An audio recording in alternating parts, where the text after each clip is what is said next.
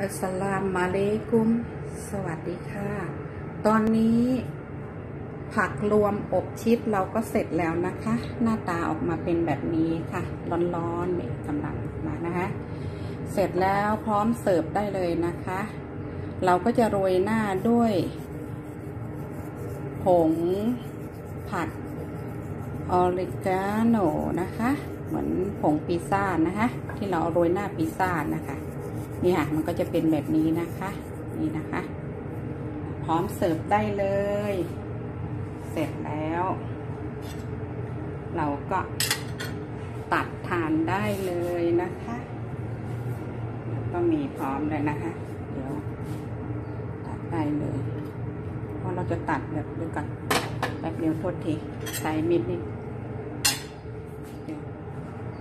ตัดนะคะ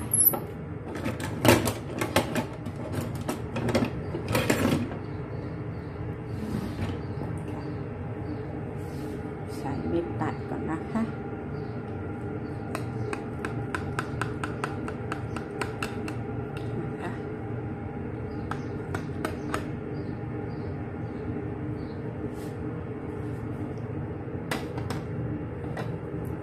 ใช้แบบนี้อีกทีหนึ่งนะคะค่ะก็จะได้แบบนี้เสาะเสาะข้างๆนะคะ หน้าตาผักของเราจะเป็นยังไงคะเราพร้อมเสิร์ฟได้เลย นี่ค่ะ ก็ออกมาเป็นแบบนี้นะคะ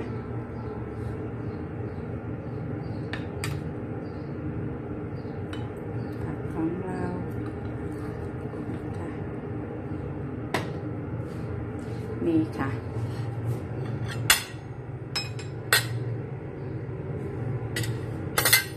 ก็ออกมา เป็นแบบนี้ ผักแม่ย่านะคะ ทานได้เลย นี่ค่ะ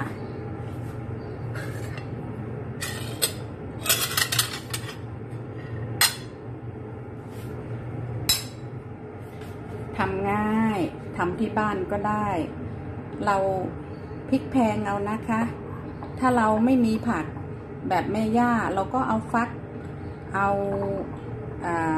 ผักหลาย ๆ อย่าง เอาผักขม ผักโปยเล้ง ผักอะไรพวกนี้ก็ได้นะคะ ทำได้ทุกอย่างค่ะ โอเคนะคะ ขอบคุณมากนะคะที่ติดตาม กดติดตามเป็นกำลังใจให้แม่ย่าด้วยนะคะ สวัสดีค่ะ